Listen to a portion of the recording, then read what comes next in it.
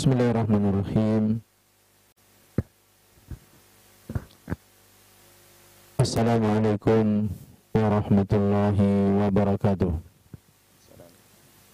إن الحمد لله نحمده ونستعينه ونستغفره ونعوذ بالله من شرور أنفسنا ومن سيئات أعمالنا.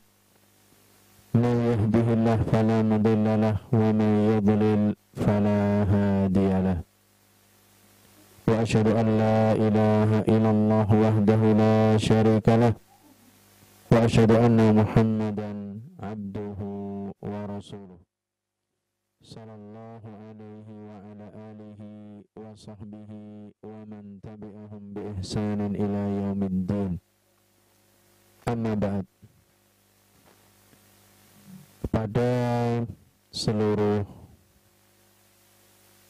santriwan dan santriwati yang baru Pondok Pesantren Al-Ukhuwah Sukoharjo yang dimuliakan oleh Allah Subhanahu wa taala yang sekarang tergabung di dalam aplikasi Google Zoom. Alhamdulillah pertama kali yang harus kita laksanakan adalah bersyukur kepada Allah Subhanahu wa taala. Memuji kepada Allah Subhanahu wa taala.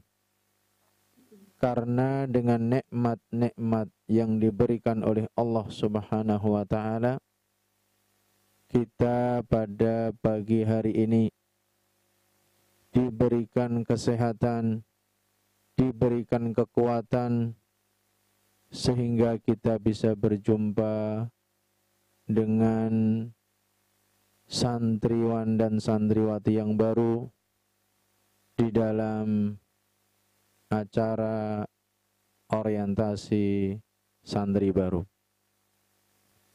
Pada hari ini tanggal 13 bulan Juli tahun 2020 Insya Allah kita akan memulai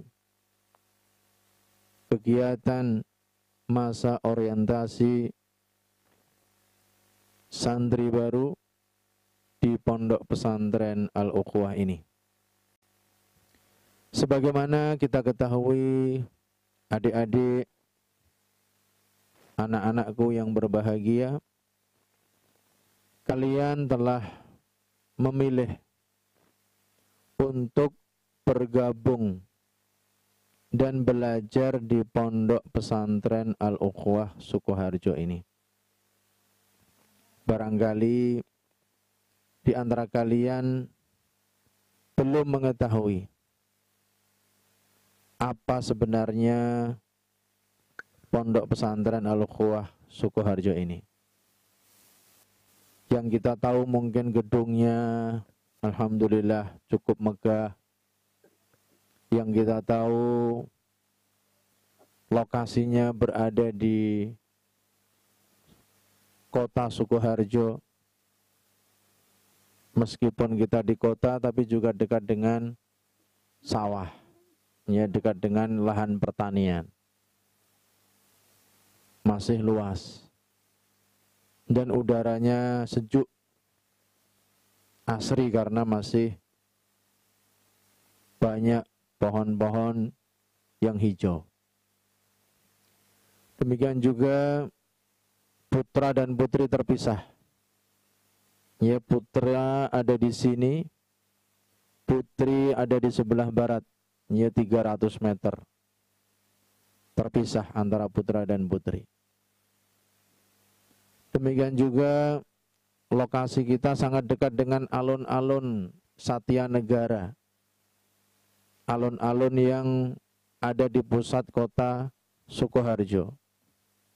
Kabupaten Sukoharjo. Yang mana alun-alun itu dengan kita hanya 250 meter dengan Pondok Putra alun-alun kemudian ke utara sedikit di situ ada rumah dinas Bupati Sukoharjo. Ya, di tengah-tengah ada simpang lima, Proliman. Nih kalau simpang lima mungkin ada di Semarang, di sini ada Proliman. Simpang lima juga. Kemudian simpang lima, ya ke 500 meter ke arah timur ada rumah sakit umum daerah Insinyur Soekarno. Ke utara 500 meter atau enggak sampai ada pasar Insinyur Soekarno. Alun-alun ke selatan sedikit ada masjid Agung Baitur Rahmah Sukoharjo. Jadi alhamdulillah kita berada di dekat transportasi umum. Ya dekat dengan terminal Sukoharjo, dekat dengan jalan raya. Ya kalau kita mau ke bandara juga, ke bandara Solo itu sekitar 45 menit sekitar 20 sampai 25 km. Dengan stasiun paling sekitar 15 kilo. Ya, atau tidak sampai sekitar 10 sampai 15 kilo. Jadi alhamdulillah Allah Subhanahu wa taala berikan kita lokasi yang cukup strategis. Kalau mencari pondok pesantren Al-Quwah, insya Allah mudah. Maka dari itu nanti adik-adik kalau sampai ke pondok ya kita bersyukur kepada Allah Subhanahu wa taala. Bukan berarti dekat alun-alun nanti kita main alun-alun ya. Boleh main di alun-alun tapi ada waktunya sendiri. Ya bisa jalan-jalan tapi ada waktunya sendiri.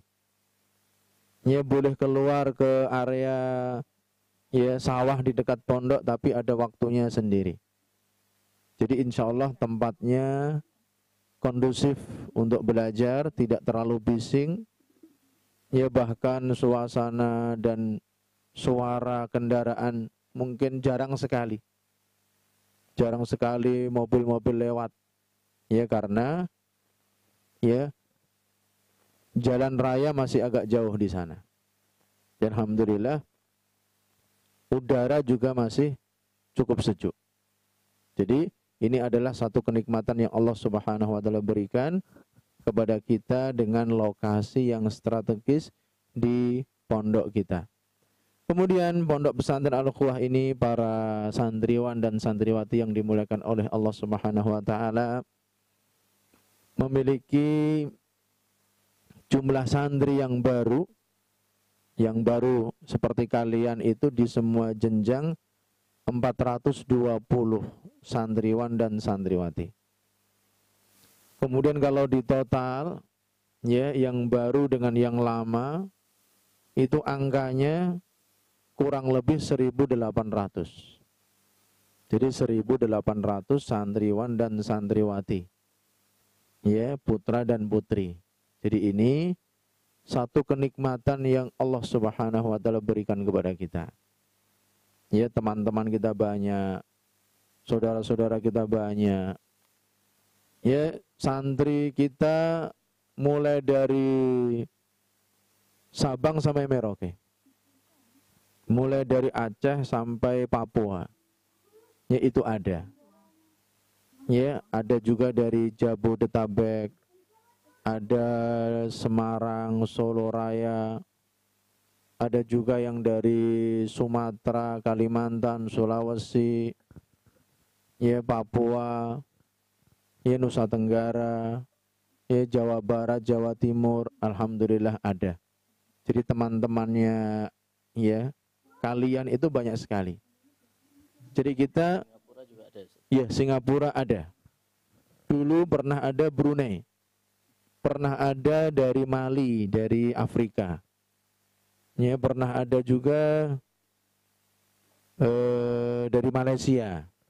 Jadi, ya alhamdulillah. Ya teman-teman kita banyak, teman-teman Anda, ya adik-adik ini banyak, nggak usah takut. Ya karena semuanya punya tujuan yang satu, belajar menuntut ilmu agama. Belajar untuk tafakuh fiddin ya mempelajari dan mendalami ilmu agama kita. Kemudian kalau kita lihat ya ke belakang, ya sekarang tahun 2020, kita lihat ke belakang kapan itu pondok pesantren Al-Ukhwah mulai berdiri. Jadi kita katakan mulai berdiri dan beroperasi tahun 2002. Ya tahun 2002. Sejarahnya ya sejarahnya sebelum tahun 2002 itu sudah ada ya bibitnya yaitu mendirikan TK. Ini dari Ustadz Mukhlis dan Bapak Dr. Andes Muhammad Sahli. Ini mulai mendirikan Ma'had Sigor. Itu sekitar tahun ya 2000-2001.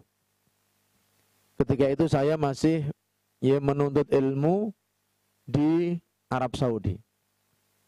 Ya tepatnya di Unezah Al-Qasim. Ya, kalau Uneza Al-Qasim, ya di sana ada ya satu orang yang sangat kita hormati, salah seorang ulama yaitu Syekh Muhammad bin Saleh Al-Utsaimin rahimahullahu taala. Ya, saya berguru kepada beliau diberikan kenikmatan oleh Allah Subhanahu wa taala untuk duduk di majelis beliau mulai tahun 1997 hingga tahun 2001. Ya, sejarahnya saya belajar di Pondok Pesantren Al Furqon setelah saya lulus SMA. Ya, setelah saya lulus SMA. Jadi saya dengan adik-adik ini merasa iri. Saya belajar ilmu agama itu baru setelah selesai SMA adik-adik yang ada di aplikasi ini semua yang hadir usia SMP sudah mondok usia bahkan SD sudah mondok SMA sudah mondok. Saya terkadang merasa iri. Ya dulu memang waktu itu belum membudaya. Belum banyak orang yang berbondong-bondong ke pesantren seperti sekarang. Ya tahun 92 setelah lulus SMA di Solo ya SMA saya SMA 5 negeri Solo kemudian setelah di rumah sekitar lima bulan tepatnya Desember 92 saya berangkat ke pondok pesantren Al Furqan Gresik. Ya di sana dulu ada program PPIDT. Ya selama dua tahun. Kemudian tahun 1994 sudah selesai. Kemudian beberapa bulan menjadi guru muda membantu di sana. Kemudian izin kepada Ustadz kita Ustadz Aunur Rafiq untuk mendaftarkan ke Libya. Mendaftarkan ke Libya, diterima masuknya tahun 95 bulan Januari. Kemudian masuk Ekdat Lugawi 2 tahun 95 sampai 97 Januari selesai. Kemudian masuk takmili. Nah, masuk takmili ini baru beberapa bulan ya tepatnya bulan April, ya mungkin baru tiga bulan, saya berangkat ke Arab Saudi. Ya dalam rangka menuntut ilmu. Sebelumnya ada sahabat saya yang menjadi wasilah untuk mengantarkan ke sana ke Qasim. Ya, jazakallahu khairan kalau nggak ada wasilah mungkin nggak bisa. Ada juga salah seorang sahabat sampai sekarang juga warga negara Saudi yang menjamin keberadaan saya di sana. Kemudian diberikan nikmat oleh Allah Subhanahu wa taala menuntut ilmu. Ia belajar kepada Syekh Muhammad bin Shalih Al Utsaimin mengikuti semua pelajaran yang ada di masjid dan tinggal di asrama Sakan yang dulu Sakan di depan masjidnya beliau kemudian pindah ke sakan khusus yang ada di samping masjid beliau. Ya, mempelajari beberapa kitab. Ya, kitab fikih, Zadul Mustaqni, Bulughul Maram. Ya, kemudian Sahih Bukhari, Sahih Muslim. Ya, kemudian kitab sirah. Ya, kemudian kitab balaghah, kitab tafsir, usulun fi tafsir, kitab majurumiyah, ya kemudian mustalah hadis, kemudian usul fikih, qawaid fiqhiyah dan kitab-kitab yang lain. Ya beliau mengajarkan ya setiap hari. Terlebih lagi kalau musim panas soifiyah, liburan. Ya beliau ngajar pagi sampai zuhur. Kemudian malam juga. Ini banyak sekali kitab yang ya beliau ajarkan. Kemudian sampai tahun 2001 ya bulan Januari tanggal 15 beliau Syekh Muhammad bin Shalih Al Utsaimin rahimallahu taala wafat. Ya wafat di kota Jeddah kemudian disolatkan di Masjidil Haram pada hari itu hari Kamis tanggal 15 Januari yaitu bulan Syawal tahun 2000 eh, tahun 1421 Hijriah. Ya, kita yang dari Uneza ya, pergi ke Mekah untuk menyolatkan dan menguburkan beliau. Kemudian setelah tiga bulan beliau wafat dan masjid ketika itu belum ada pelajaran, ya maka saya ya pulang. Ya ketika pulang ada dua orang sahabat dari Uneza ia pulang bersama saya. Satu pesawat dengan saya, saya ingin ke tempat kamu. Ya, kemudian kita ke sini, kemudian mengisi, beliau mengisi di beberapa tempat. Ya, termasuk ke ya, dulu ada ma'had yang pinjam. Ya, ma'had ini cikal bakalnya pinjam di gedung Muhammadiyah. Ya, kemudian ada salah seorang dermawan donatur, beliau Bapak Haji Jurjani mewakafkan tanah. Ya, kemudian ditambah tanah Ibu Dokter Harun dan Bapak Muryono yang ada di masjid yang ada di sini sekarang dipakai asrama. Kemudian beliau teman saya dua orang yang dari Saudi ini berminat untuk membangunkan markas yaitu tahun 2001 bulan April. Ya kemudian rencananya saya mau kembali ke Uneza. Ya, karena saya datang hanya liburan, saya akan kembali lagi. Ya qadarullah saya enggak kembali lagi sampai sekarang. Ya, saya diberi amanah untuk mengelola ya pesantren ini. Kemudian ya berjalannya waktu dari awal itu Mahat Sigor kita pindahkan ke sini. Itu satu kelas. Ya, satu kelas SD. Kemudian kita membuka pertama kali Edda Duat. Edda Duat itu kaderisasi dai, ya lulusan SMA dari umum, kemudian rencananya kita program belajar di pondok selama tiga tahun. Ya kalau sudah tiga tahun nanti bisa ya berdakwah, bisa mengajar, bisa membantu di pesantren. Dan alhamdulillah kita mulai ya permulaan ketika itu bulan Agustus.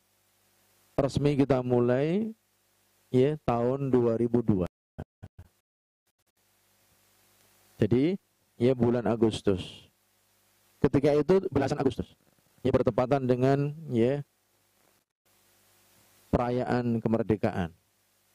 Ya kita masih ingat betul ya permulaan kita mulai di sini. Kemudian ya alhamdulillah yang SD juga bertambah. Kemudian yang Eda doa juga ya bertambah. Pertama kali santri Eda doa itu 10.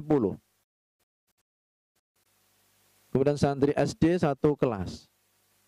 Kemudian tahun 2003 itu ada sahabat kita juga yang dari Saudi ingin mewakafkan hartanya membangun Pondok Putri. Ya, kita bangunkan beberapa lokal Kemudian kita buka pondok putri.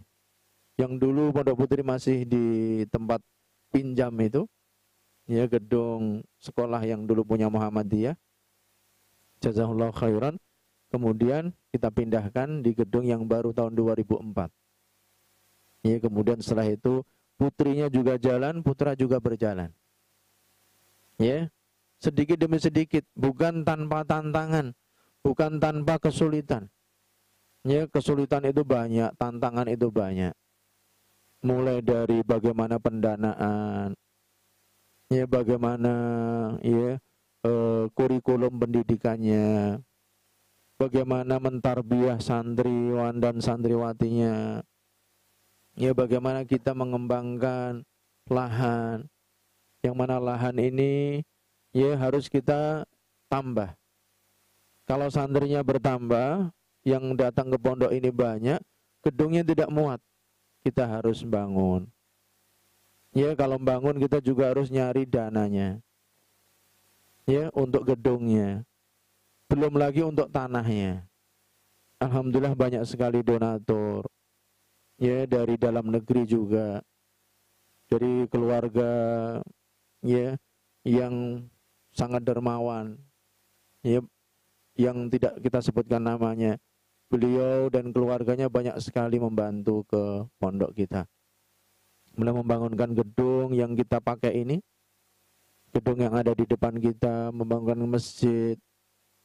Ya kita bersyukur kepada Allah Subhanahu wa taala dan mendoakan agar beliau dan keluarganya dan orang-orang yang ya beliau cintai selalu diberikan balasan yang terbaik oleh Allah Subhanahu wa taala. Kemudian dari tahun ke tahun bertambah jumlah santri kita. Ya putranya yang bertambah, putrinya juga bertambah. Ya kemudian kita membuka setelah SD kemudian SMP. Ya SMP kita buka. Ya kemudian setelah itu SMA kita buka. Madrasah Aliyah kita mulai dengan takhasus bahasa Arab itu tahun 2008. Ya, takhasus bahasa Arab tahun 2008 kita namakan TBA. Kemudian MA mulai tahun 2009. MA mulai tahun 2009. Ya, karena kita butuh ya MA. Kalau sudah MA nanti ya mereka akan lulus mendapatkan ijazah negara. Jadi ya adik-adik kalau ya sekolah di Pondok Ukhuwah insya Allah ijazahnya juga diakui. Mulai dari SD, SMP, ijazah kesetaraan, Madrasah Salafiyah Ula, Salafiyah Usto. Diakui oleh Kementerian Agama, dikeluarkan Kementerian Agama. Madrasah Aliyah, putra-putri, ijazahnya dari negara. Semuanya sama. Ya, bahkan program reguler. Dan alhamdulillah dengan izin Allah Subhanahu wa taala MA-nya ini juga berkembang. Ya, muridnya juga banyak. Lulusan-lulusannya juga sudah banyak. Ya, lulusan Eddad Duat ini yang saya sebutkan tadi ya banyak yang lulusan Eddad Duat melanjutkan ke jenjang yang lebih tinggi. Ya, melanjutkan ke Madinah. Itu ada Ustadz Ismail, yang dari Tidore. Dulu mondok di sini. Kemudian selesai daduat mendaftar ke Madinah, kemudian diterima. Kemudian pulang ke pondok lagi. Selama empat tahun mengajar di sini, kemudian mendirikan pondok di Tidore. Ini pondok pesantren Ali bin Abi Thalib. Kemudian ada Ustadz Abu Ahmad yang dari Daduat. Kemudian mau di sini kemudian diterima di Madinah, kemudian pulang kembali ke pondok, kemudian kembali ke kampung halamannya mendirikan pondok pesantren Subulu Salam. Dan alhamdulillah ya dengan izin Allah Subhanahu wa taala semuanya ya diberikan kemudahan. Kemudian setelah itu ya dari ustaz, dari karyawan semuanya banyak ya yang bergabung dengan kita ya mulai dari Ustadz Khalid Syamhudi mengajar di kita dulu ada Ustadz Abu Umar Bashir ya lebih dari lima tahun mengajar di kita ada Ustadz Abdul Rahim Ya, kemudian ya banyak sekali ustadz-ustadz yang bergabung dengan kita. Ya, sampai sekarang jumlah guru, ustadz, karyawan itu hampir 300 orang. Jadi kalau guru itu sekitar 100 sampai 150. Ya kalau karyawan selebihnya. Jadi 290 sekian ya pegawai putra dan putri. Ya karena mengurusi jumlah yang banyak. Kemudian kita sebutkan juga ya untuk MA pada tahun 2016 kita dipercaya untuk mendapatkan akreditasi dari Universitas Islam Madinah atau UIM. Jadi ijazah ya meskipun tidak pakai ijazah negara, ijazah pondok bagi santriwan yang sudah lulus MA bisa digunakan untuk mendaftar ke Universitas Islam Madinah. Ya karena sudah terakreditasi tahun 2016.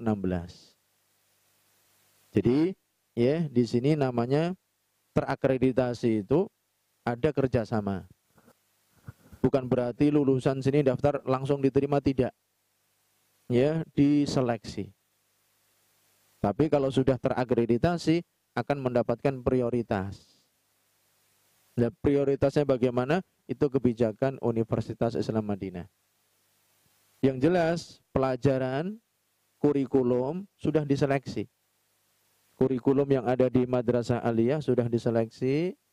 Ini layak untuk terakreditasi dengan Universitas Islam Madinah. Karena kalau kita belajar di sini adik-adik sekalian, nanti memang harus punya modal bahasa Arab. Saya nasihatkan kalian untuk mencintai bahasa Arab. Kalau belajar di pondok itu, ya intinya cinta bahasa Arab. Ya, karena bahasa Arab itu bahasa Al-Quran, bahasa hadis Nabi, kemudian bahasa kitab-kitab para ulama. Semuanya belajar dengan proses dari awal. Semuanya dari nol. Nggak ada yang langsung bisa, nggak ada. Ya semua ustadz-ustadz itu dulu belajar dari nol. Saya belajar dari nol. Ya, Semuanya sama. Kalau mau bisa bahasa Arab belajar dari nol. Ya belajar mulai dari nahwu, mulai dari sorof. Ya kemudian mulai dari eh, nanti percakapan, muhadasa. Ya fahmul masmu, kemudian menulis, harus senang bahasa Arab. Jadi pesan saya pada adik-adik untuk mencintai bahasa Arab. Kemudian setelah itu kalau ingin belajar di pondok, ya, senang juga dengan menghafal Al-Qur'an. Mulai kalau belum bisa baca, baca dengan lancar. Kalau sudah bisa baca lancar, ya, diusahakan istiqomah untuk membaca Quran. Ya, mulai dari pagi hari bangun subuh, setelah sholat subuh, baca Quran. Nanti setelah sholat zuhur, baca Quran. Setelah sholat asar baca Quran. Setelah sholat maghrib, isya kalau bisa baca Quran. Ya sedikit tapi rutin. Nanti ada ya metodenya bagaimana menghafal Quran. Ustadz menghafal Quran itu susah. Ya semua orang susah, tapi pelan-pelan. Menghafal yang dari yang mudah dulu. Tidak mungkin semuanya langsung sekaligus. Ilmu itu tidak bisa sekaligus. Semuanya ada proses, sedikit demi sedikit. Kita kembali kepada sejarah Ponpes al -Ukhuwah. Kemudian kita kalau mendengar ukhuwah dua, itu apa? Jadi ketika kita di sini sudah nggak muat, ya kita tahu harga tanah kan juga mahal. Ya jumlah santri banyak. Kemudian pada tahun ya 2010, 2011 kita mendapatkan tanah di Bendosari. Kecamatan yang ada di samping kita. Jaraknya 4 kilo setengah. Jadi tidak sampai 5 kilo. Ya di sana ya ada tanah 9000 meter. Ya kemudian ketika di sini nggak muat kita dengan izin Allah Subhanahu wa taala ada donatur yang membangunkan gedung di sana. Masjid, ada kelas, ada asrama, ada rumah dinas untuk ustadz. Ya, ada juga di sana ya peternakan lele. Ya, ada juga di sana ya ditanami padi, ditanami lombok dan lain sebagainya. Ya, nanti kalau yang TBA ya tempatnya di sana untuk satu tahun. Nanti kalau sudah satu tahun kembali ke sini lagi. Karena di sini tempatnya nggak muat. Ini harus dimaklumi ya di sana ukhuwah dua manajemennya sama. Ya semuanya sama. Ya kurikulum juga sama. Ya di sana khusus putra. Ditambah lagi edat muhafidin. Ini ada Ustadz Abu Salman Maryadi yang ia mengampu di sana, ada Ustadz Abdul Azim yang mengampu di TBA. Jadi, ya itu kalau kita mendengar ukhuwah dua itu di mana? Kenapa kok yang TBA di sana, tahfidnya di sana? Ya karena di sini nggak muat. Ya, di sini juga ya harus kita manajemen eh, sesuai dengan ya jumlah ideal. Kalau jumlahnya memenuhi dari jumlah ideal nanti tidak sehat. Ya, terlebih lagi ya nanti kalau kita masa pandemi sudah mulai masuk ya tentunya juga harus menjaga jarak ya sesuai dengan protokol kesehatan yang sudah ditetapkan oleh pemerintah kita. Yaitu sejarah ya mulai ya tahun 2011, 12 sana kalau ya mulainya sekitar 2013 ya mulai 11 12 itu membangun 13 itu ya mulai beroperasi di ukhuwah 2 kemudian ada juga putri 2 mungkin kita dengar ada putri satu putri dua. Karena putri satu juga sudah tidak muat. Putri dua itu hanya berseberangan. Hanya sekitar 100 meter tidak sampai 100 meter. Ya gedung sendiri. Ya kita mencari tanah wakaf ya dengan wakaf meteran. Ya barangkali ya kalian mendengar pondok ukhuwah mau membebaskan tanah dipersilahkan wakaf nah itu wakaf untuk ya kepentingan pesantren barangkali wali santri juga sering mendengar wakaf di pondok ukhuwah membeli tanah ya dengan harga 3 miliar 300 juta ya 4000 meter itu semuanya untuk apa uang sebanyak itu? Untuk membeli tanah, tanahnya dipakai untuk pondok pesantren. Dipakai untuk asrama, dipakai untuk sekolah, dipakai untuk mahat ali, dipakai untuk rumah dinas, semuanya untuk lillah, visabilillah. Jadi, ya kalau kalian mendengar ya kita membebaskan tanah itu seperti itu prosesnya. Kemudian alhamdulillah ada donatur juga saudara kita dari Arab Saudi membangunkan gedung, masjid, ya kemudian berdiri putri dua. Di situ dipakai untuk MSU putri dan dipakai untuk edat muhafizat. Ya edat muhafizat, ya gedungnya sendiri. Dan MSU putri satu komplek, ya putri dua. Kalau ditaruh di putri satu tidak muat, makanya harus ditambah gedung. Dan sekarang ya saya beritahukan kepada adik-adik dan wali santri juga kita juga dalam tahap pembangunan. Ya kita barusan membangun delapan lokal putra untuk sekolah MSW. Ya delapan lokal di Putri. Kemudian kita akan e, merenovasi dan nanti insya Allah akan menjadi lima lokal untuk asrama yang ada di Komplek Putra juga. Jadi alhamdulillah kita juga tetap melakukan persiapan. Ya karena peminat yang datang ke pondok pesantren ini jumlahnya banyak. Ya tidak semuanya kita terima. Ya mohon maaf mungkin ada yang tidak diterima ya karena kita kemampuan terbatas. Gedungnya terbatas, ya kemudian tenaganya juga terbatas, tidak mampu. Yang bisa kita terima kita terima, yang tidak bisa ya kita mohon maaf kepada masyarakat, kepada Bapak Ibu ya apabila ada yang tidak diterima karena hanya keterbatasan kami. Kami tidak mampu untuk menerima ya semua pendaftar.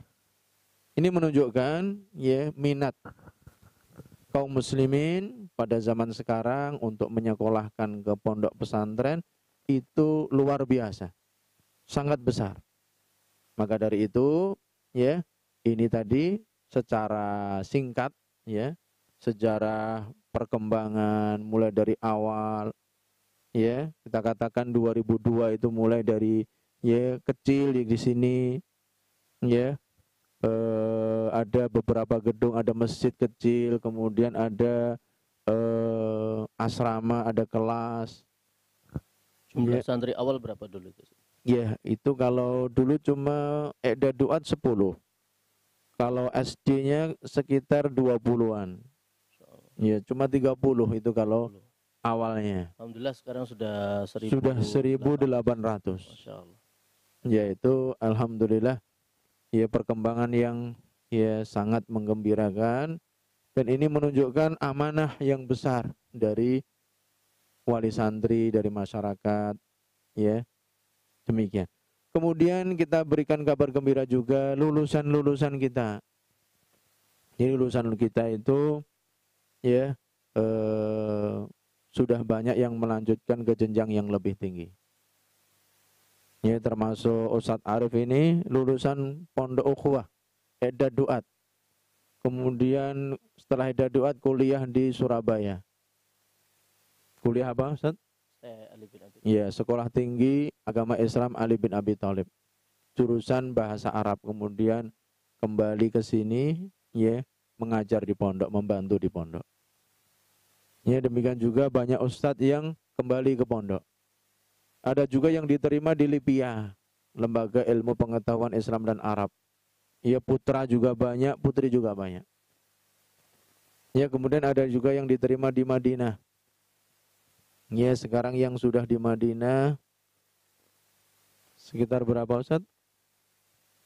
Uh, total semua yang pernah di Ukhuwah mungkin